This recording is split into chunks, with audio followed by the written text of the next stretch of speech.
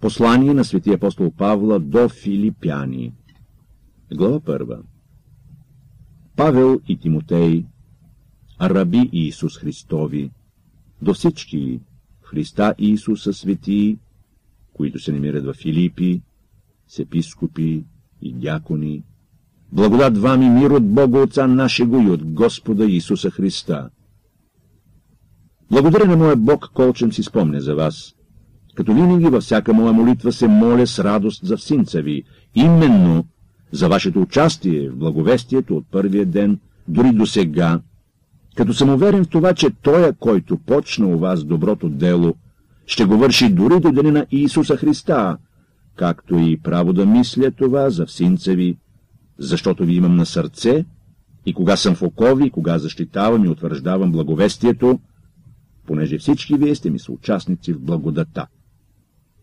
Бог ми свидетел, колко много обичам синца ви, с любовта Иисус Христова, и моля се, защото вашата любов все повече и повече да изобилва чрез познание и разбиране на всичко, и да различавате, що е по-добро, да да бъдете чисти и без препънка в Дене Христов, изпълнени с плодове на правда, дарувани чрез Иисуса Христа за слава и похвала Божия. Желая, братя, да знаете, че тия неща, които ми се случиха, спомогнаха за по-голям успех на благовестието, тъй, че моите в Христа окови станаха известни на цялата претория и на всички други, и повечето от братята на Господа, насърчени от моите окови, почнаха по-смело, без страх да проповядват Словото Божие. Някои наистина от завист и обич към препирня проповядват Христа, а други от добро разположение. Едните от желание да се препират, проповядват Христа нечисто, като мислят, че увеличават тежината на оковите ми. Други пък проповядват от любов, като знаят, че аз съм поставен да защитавам благовестието. Но що от това? Както и да бъде, било престорено, било искрено, Христос се проповядва. Затова се радвам и ще се радвам, защото зная, че това ще ми послужи за спасение с вашата молитва и чрез съдействие на Духа Иисус Христов. Според както очаквам с нетърпение и се надявам, че в нищо не ще се посрамя, но при всяко дразновение, както винаги и сега, ще се възвеличи Христос в тялото ми, било чрез живот, било чрез смърт. Защото за мен животът е Христос, а смъртта — придобивка. Ако ли живеенето ми в плът принася плод на делото, то кой да предпочита не зная. Обладават ми и двете. Желая да се освободя и да бъда с Христа, защото това е много по-добро. Но да оставам в плътта е потребно за вас. И аз това с увереност зная, че ще остана и ще пребъда с всички ви за ваш успех и радост във вярата. Та похвалата ми и Христа и Исуса да се умножава чрез мене, кога дойда повторно при вас. Само живейте достойно за Христовото благовестие, да дойда ли и ви видя или отсъствам, да чуя за вас, че стоите в един дух, като се подвизавате единодушно за евангелската вяра и не се страскате в нищо от противниците. Това е тям доказателство за погибела вам, за спасение, и това е от Бога, защото вам е дарувано заради Христа, не само да вярвате в Него, но и да страдате за Него, като се подвизавате със същия подвиг, какъвто видяхте у мене и сега чувате за мене. Глава втора И тъй, ако има някой отеха в Христа, ако има някоя разтуха в любовта, ако има някакво общуване на духа, ако има някое милосърдие и състрадание, направете пълна радостта ми. Имайте едни мисли, като имате една и съща любов, и бъдете единодушни и единомислени. Нищо не вършете от обич към препирня или от пустословие, но от смирено мъдрие смятайте един други го за по-горен от себе си. Не се грижете всеки само за себе си, но и за другите. понеже вие трябва да имате същите мисли, каквито е имал Иисус Христос, който, бидейки в образ Божий, не щете за похищение да бъде равен Богу, но понизи себе си, като прие образ на раб и се уподоби на човеци, и по вид се оказа като човек. Смири себе си, бидейки послушен дори до смърт, и то смърт кръсна. Затова и Бог го високо въздигне и му даде име, което е по-горе от всяко име, та в името на Исуса да преклони колене, всичко небесно, земно и подземно, и всеки език да изповяда, че Иисус Христос е Господ, за слава на Бога Отца. Тъй, защото, възлюбени мои, както винаги сте послушни, не само в мое присъствие, но много повече сега, когато отсъствам, със страх и трепет вършете вашето спасение. Защото Бог е, който ви прави и да искате и да действате според благата му воля. Всичко вършете без ропот и съмнение, за да бъдете безукорни и чисти, непорочни чеда Божии посред опърничав и развратен род, посред който сияете като светила в света, имайки себе си словото на живота, за моя похвала в Деня Христов, че не напразно тичах и не напразно се трудих. Но ако и да се жертвам за жертвата и за служенето на вярата ви, аз се радвам и се радвам в синца ви. Тъй също и вие се радвайте и ме се радвайте. А надявам се в Господа Исуса наскоро да пратя при вас Тимотея, тъй аз като узная как сте да се утешат духом, понеже нямам никого равно усърдие, който толкова искрено да се грижи за вас, защото всички търсят своето, а не Иисус Христовото. А неговата опитност, вие знаете, той, като син на баща, заедно с мене слугува при благовестването. Него, проче, надявам се да изпратя веднага, що му зная, какво ще стане с мене. И уверен съм в Господа, че и сам скоро ще дойда при вас.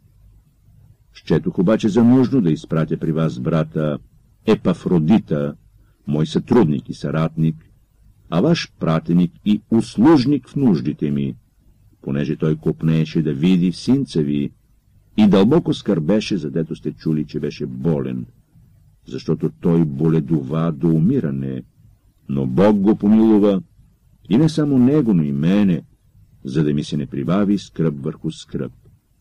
Поради това изпратих го по-скоро, тъй като го видите пак да се зарадвате и аз да бъда по-малко наскърбен. Приемете го, прочие, в Господа, с всяка радост и такива имайте на почет, понеже за Христовото дело той беше почти на умиране, като презря живота си, за да допълни недостига на вашето към мене служение. Глава трета Проче, братя мои, радвайте се в Господа. Едно и също да ви пиша, за мене не е тежко, а за вас то е назидателно.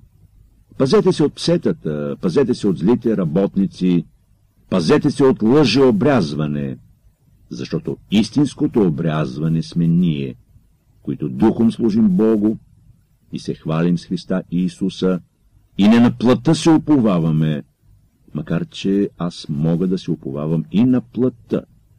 Ако някой друг мисли да се уповава на плътта, то още повече аз, обрязаният в осмия ден, от Израилев род, от Вениминово коляно, еврейн от евреите, по закон фарисейн, по ревност, гонител на Божията църква, по правдата на закона непорочен. Но това, що беше за мене придобивка, поради Христа, щето го за вреда.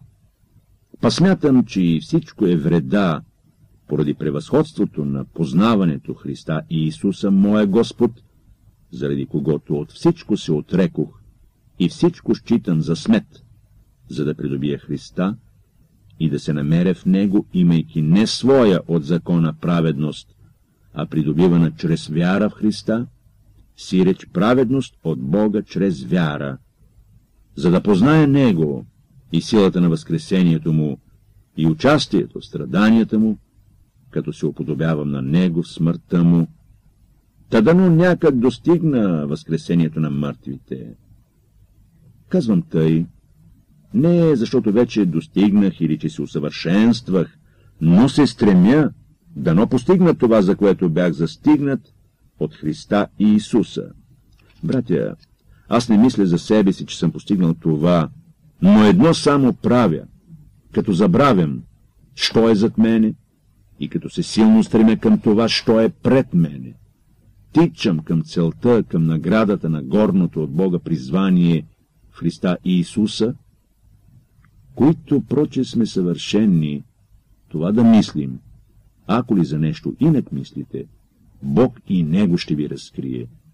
Но по това, до което достигнахме, нека бъдем единомислени и да следваме същото правило.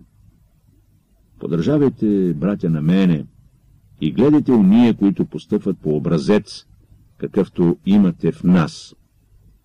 Понеже мнозина, за които ви съм често говорил, аз дори с сълзи говоря, постъпват като врагове на кръста Христов. Техният край е погибел.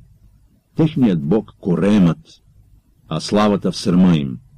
Те мислят за земното, а нашето живелище е на небесата, одето очакваме и Спасителя Господа нашего Иисуса Христа, който ще преобрази унизеното наше тяло тъй, че то да стане подобно на Неговото славно тяло, с силата, чрез която Той може и да покорява на себе си всичко.